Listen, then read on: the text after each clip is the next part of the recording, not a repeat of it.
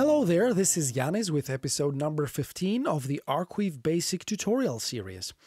The next episode will be the last of this series and it will be about closing and polishing the tutorial project.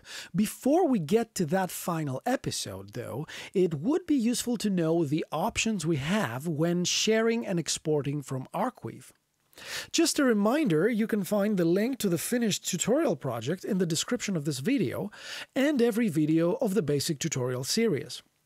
First of all, let's talk about project visibility and sharing. By default, an Arcweave project is private. This means it can only be accessed and played by its author. To change this setting, we can click the Share and Export icon up here and then choose Share. Then we can either share the project with specific people or make it public. To make the project public, we toggle this option here. Then anyone who has this link can view and play the project. And we can click here to copy the link if we want to send it to someone or post it on social media.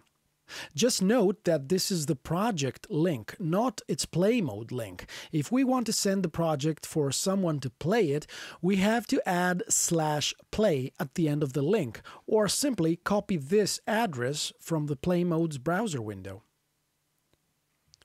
On the other hand, if we want to share the project with specific people, we can invite them by email to become viewers or editors.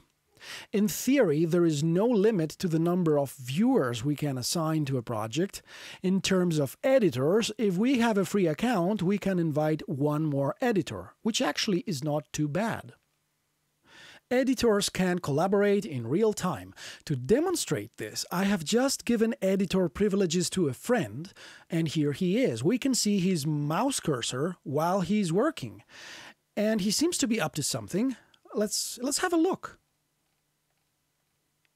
Oh, great. So he has some ideas. I will let him work and. Um, to have a taste of how real time collaboration works, I will just go right here and do some other things while he's, uh, he's expanding the, the story.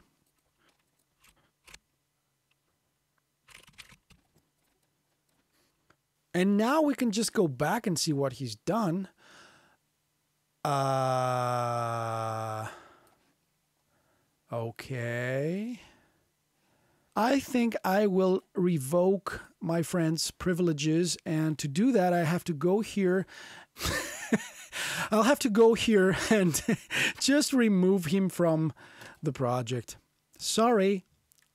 Well, that was fun. Now let's go and see our exporting options.